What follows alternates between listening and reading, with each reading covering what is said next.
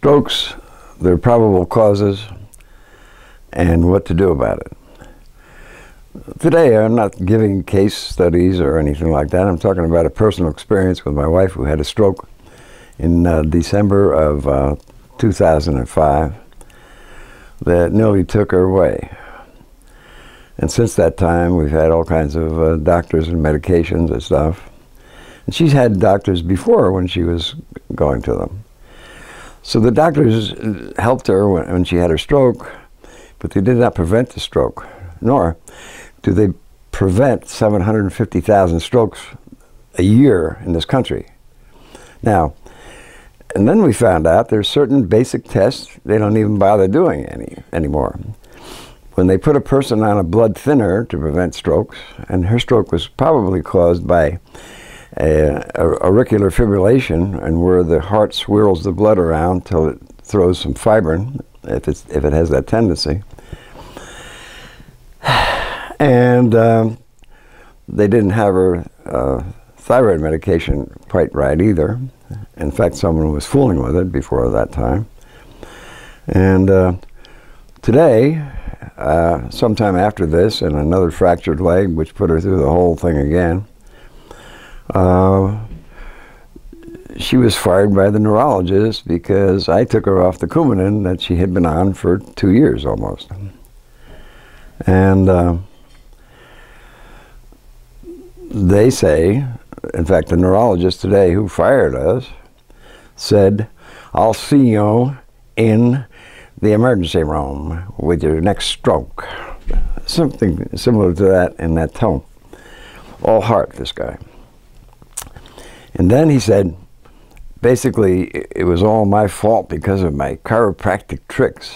Well, um, it wasn't my chiropractic tricks that put her in there. It was the, the doctors and cardiologists, etc., that she went to. Um, but what they and the doctors are safe when they give you Coumadin. Uh, we have uh, now a multitude of research, and you have to differentiate scientists from doctors.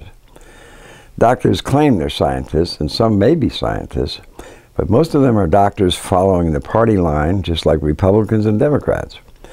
And they're on base and safe when they're giving you these blood thinners. Now, what they don't tell you is they put a black box on Coumadin and warfarin in the fall of 2006. And I was watching my wife go downhill by the rules to where she couldn't string a sentence together. Her face was all gray blotches, and she was getting all kinds of things on her legs. And it was apparent that there, she was going to die by the numbers. Well, we rebelled against that, and uh, we've had now fights with three doctors, the neurologist and the, the GP, and the um, the personality of the uh, neurologist was that he blew up. His his uh, authority had been challenged, and he fired us. Even though I told him today that uh, the Coumadin was indeed killing her, and that it does damage the arteries, and there's scientific proof for that, and that uh, her mind was going because it was also damaging her brain, and that's the arteries that we were able to read, and uh, that she's much better now. Her blood pressure was perfect, her heart was perfect, but he told her that she's going to have a stroke because she's not taking the rat poison that he told her to take. So, as he was firing us, I also told him that one of the things that we recently discovered about my wife was that she has celiac disease.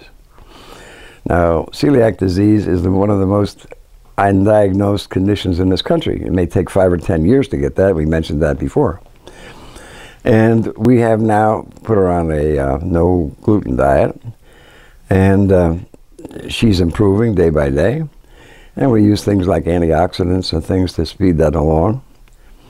And she's doing better and better. So even though they're telling me I'm going to kill her, I think I saved her life, and I think we're proving it every day because everyone around us can see the change. So, what are the factors that cause strokes in a country that has uh, the most expensive, most advanced medical care in the world, where you may spend $100,000 in a day to get all this life saving uh, services? And you find that uh, 750,000 people a year are going down with this condition.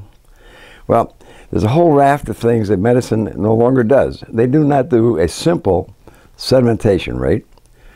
And hers went up to like 80 when she broke her leg and she was down in Charleston Hospital.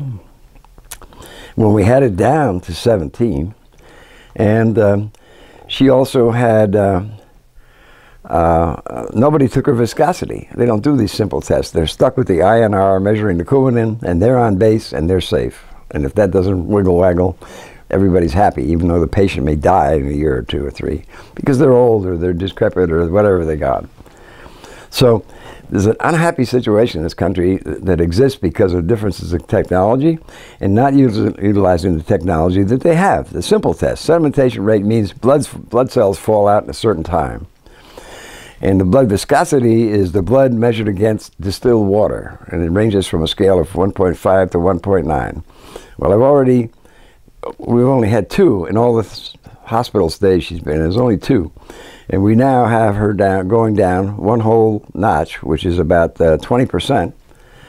Uh, and we only have two or three readings, and that's it. But her, her, we have brought down her uh, uh viscosity, which is good, and uh, we're now uh, because celiac disease also has another factor other factors. It may raise the sedimentation rate, which thickens the blood.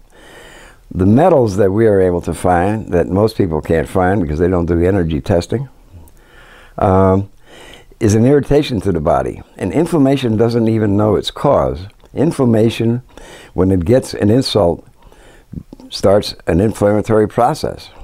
And part of this anti-inflammatory process changes, apparently, the uh, electrical charges on the blood because they start to clump up.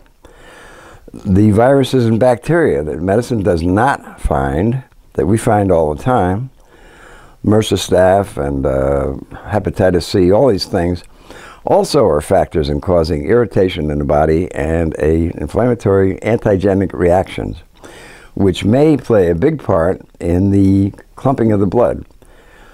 So we're happy with taking her off the Coumadin. We now have her on an enzyme called nattokinase. And before you run out and start buying nattokinase without any help or anything else, it has to have the vitamin K removed because th that helps, as you understand, the clotting mechanism. So you want to know what you're doing. You, if you can find a doctor, if you can find a doctor that will work with you with nattokinase or, or the other one, and I can't remember the name of that, it was just stronger. Um, that's the only way you should do it. You shouldn't just buy it from any company on the web or any health place that comes along. And uh, if you can find a doctor that can diagnose these various uh, late, so-called latent infections, the scientists call them uh, small colony variants, and we call them infections because they're in there, and when we get them out, the symptoms go. So I just wanted to share some of you, some of these thoughts with you about stroke uh, blood thinners, uh, the state of medicine, and the fact that people are probably unnecessarily dying because they don't really know what they're doing. Thank you.